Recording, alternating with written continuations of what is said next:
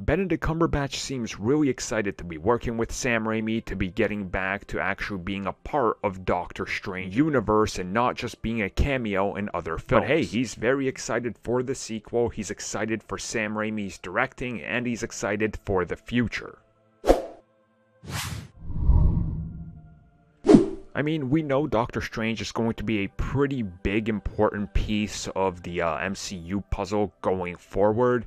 He still's got to complete his trilogy. He's got to mentor a couple characters. He's got to be in the Avengers. So he's got a uh, bright future ahead of him. And the next step is dumping him into the multiverse with uh, all sorts of things and explosions and all sorts of action all over the place. I'm only assuming that part, but it's a comic book movie with Doctor Strange in the multiverse. So there's a high probability that a blue laser in the sky will somehow factor into something. Either way, though, in a recent interview with the Associate Press, Doctor Strange himself, Benedict Cumberbatch, started to hype up Doctor Strange in the multiverse of madness, talking about how great it's going to be and what a delight it is to work with Sam Raimi, who has such a unique vision and approach to comic book movies that not many other people do. And he talks about the uh, collaboration with the other projects, meaning, you know, what's happening with Spider Man, what was happening with WandaVision, and the future down the road, and having a blast and a really good time and one of his favorite experiences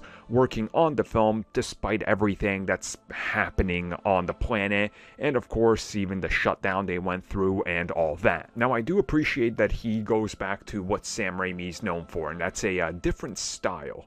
And I think that's one of the things that made Spider Man stand out so much when it came to differentiating his Spider Man and his comic book movies from everybody in the 2000s. Here's your dark, like, black suits, leather. And he's like, well, how about we just do Spider Man, huh? A Spider Man suit?